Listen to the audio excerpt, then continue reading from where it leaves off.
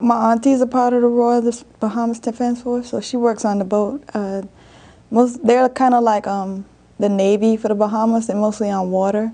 I think they mainly deal with poachers and uh, drug trafficking, try to stop that stuff. That's the only things we really have problems with on the water.